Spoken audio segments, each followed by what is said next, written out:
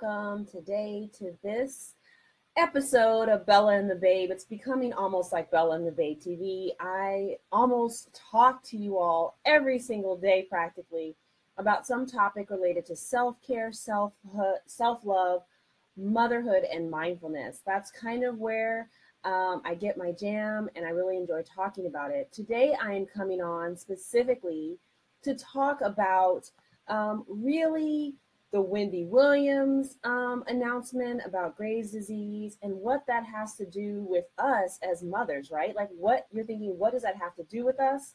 But before I do that, I want to quickly go ahead and share this video out. I want to share it to make sure that the mamas in my Mindful Mama community right here on Facebook have access to this, right? That they are that they are able to see this video. So let me go ahead and do that really quick. Um, yes. So if you're tuning in right now, you're tuning in because you want to understand what the heck does Wendy Williams's recent announcement about her Graves' disease have to do with me as a mother, has to do with me um, as a woman, right? And this whole idea of doing it all. So, hello, welcome. My name is Brooke Sidney. My company is called Bella and the Babe, which is all about empowering authentic and mindful motherhood and essentially, what I do is I help tired and guilt ridden moms get free of mama guilt, find more time for self care, and love the lives they're currently living. So, basically, why I wanted to get on today is I wanted to really talk to you about the Wendy Williams announcement. And I am by no means an expert on Wendy Williams. Let me get that out of the way. And what we can all learn from her um, announcement, as well as other messages that she has shared, right? Because sometimes we don't get it when it comes from like just me, just me, um, just the other mama on the street. But when we can hear um, certain messages sometimes um, echoing in our cultural chamber, then maybe, just maybe, um, people will start to listen. And my hope is that mamas start taking better care of themselves. That's really my goal for today. So I don't know if you guys follow Wendy Williams. She's a major like talk show host. She has her own show. She's been in radio. She's been doing the darn thing for shoot, I don't even know, 20 plus years, I would imagine. I myself am not a big Wendy Williams follower. Um, I'm all for women doing their thing though. So hey, go get them, Wendy Williams. I just for me, I just don't watch a lot of television, and I definitely don't really watch gossipy um, television. But that is me. I still think there's a place and a time, and I'm all about her getting her coin and getting that bag. Okay. So, um, with that being said, she does a lot of things, right? Like she has a very big following. She um, is very visible, right? She has her own TV show. She's got a lot of demands on her time, but she also has a family. She has a husband. She has, I think, at least one kid, right? So she is definitely a mama, a mamapreneur, um, a mama business leader. She is doing it, right? So I think over the past couple of weeks, she's been passing out. She has been fainting. And um, I think she's known, but uh, known about her disease or her illness, but she has decided to reveal it most recently, right? Like, so she has announced that she has Graves' disease, which is this autoimmune disease. I am not a doctor. I am a lawyer and a self-love guide for mamas, right? I that is not my field. But the point um, that I want to really make today with her story and what she shared in the past is that she came on to a CNN Money interview. This was in the past. This wasn't recent, where she shared that women can't do it all, right? Women can't do it all. And I have been talking about this for, I don't know, years now. I think that us as mamas and us as women, especially I would say like Gen X, millennials on down, we were fed the story that we can do it all, that we can have the career, we can have the family, we can have this amazing legacy, like we can do it all, right? We can cook, clean, take care of the kids, go to work every day, smash it out there, you know, rock, be a rock star there.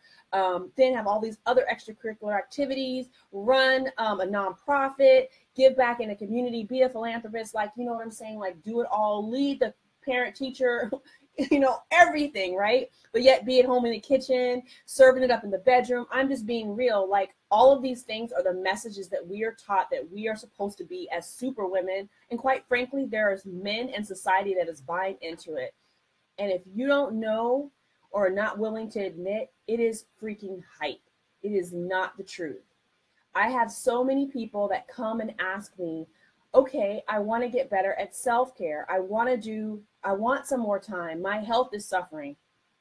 Take the Wendy Williams example. My life is suffering. Um, I'm not doing well at work. I'm not doing well as a mother, right? Because I'm trying to do it all. And I'm here to tell you, just like I tell my clients, just like I talk about on any platform that I have, be it podcasts that I'm interviewed for, any anything that I have to talk about as it relates to this quote unquote balance, it doesn't exist. Balance does not exist. Prioritization exists. Making time for the things that are important to you exist. That is that is the key, right? Something is going to fall to the floor. And as Wendy Williams says, something is going to suck you cannot, I hate to break it to you, do it all all the time and everything goes swell. So the key, right? There's a key here. There's a reason I'm telling you this is that we have to start figuring out what is important to us and not compromising our health. And the way that we figure out what is important to us is to spend more time with ourselves, with spirit, whatever that works for you, in meditation, in prayer, in you know, some centering activity for you to get quiet and take care of yourself, right? It is anti cultural to slow down. It's anti cultural to say, I can't do it all. I'm not the superwoman, right? It's anti cultural to say, I need help.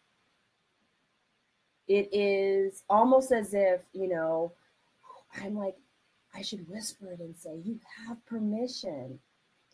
You have permission to ask for help and to spend time taking care of you, mama, you woman out there, you amazing being. Because the truth is that if you don't take care of yourself, there's going to be a health scare. I hate to put it that way, but it is the truth. There's going to be a health scare. There's going to be a some scare, right? There's going to be something that happens that's going to wake you up, if not now, later. Why wait till later? Let's start taking care of ourselves now. Let's start being honest about our lives now. Let's start reconnecting with ourselves so that we can prioritize and live the lives that we want to live and live them out loud. I'm all about creating. I'm not I'm not oh, bullshitting. I'm all about creating a tribe of empowered and mindful women that are that are not afraid to live this life out loud, that are not afraid to say, I take time for myself so that I can be my best self for myself and for my kids and for my spouse and for my lover and for everyone that I interact with every single day. And I'm okay with it. And not only am I okay with it, I am great with it. And I want you to do the same, right? Because that's how we connect with our power. That's how we connect with our strength. That's how we stay healthy. That's how we stay tuned in to our greater power, whatever that is for you. So I am encouraging you, I'm inviting you to spend some time figuring out what works for you, to spend some time being quiet, to spend some time really evaluating what your priorities are, to look back over 2017 and this first month and a half of 2018 and see how well is that working for you? Are there areas of your life that could be working better? Is there joy in areas of your life that you're leaving on the table? Could your health be better? Right? Could your relationships be better? And more importantly, could your connection with yourself be improved? If you answer yes to any of those things, let's work on it. Let's get it together, right? Let's work on our self care. Let's work on our mindfulness. Let's begin to make strides in these areas so that we can improve our 2018 and leave a legacy when we're ready to go, right? Not because we didn't take care of business. And by taking care of business, I mean taking care of ourselves. So if you want to learn more about mindfulness and self care for mothers, I have a free group, I have a free community. Jump on into it. And for those of you that right now that know that you want to make a serious commitment, meaning you want to work on it on a monthly basis, join my Mindful Mama membership circle, where every month you get a lesson, you get an affirmation, you get a guided meditation from me, um, you get additional tools, worksheets, workbooks, journaling prompts, whatever is needed to hone in that particular message around self care or mindfulness. I'd love for you to join me. We have founding member benefits and a founding reoccurring rate that will go away, that will go away soon. So definitely the links are in, um, the links are here. I invite you to join me and I would love to hear how your 2018 is going and what you think about this Wendy Williams thing, about what I feel like is the expose, which I have been preaching for I don't know how long and talking about that we can't do it all and the superwoman idea is a freaking myth and it's only hurting us as women. The longer that we perpetuate this, that doing it all equivalence is the equivalent of being a superwoman, we're only hurting ourselves. We're already freaking super women. And the moment that we figure that out and take care of ourselves, we're even greater because our powers are strengthened.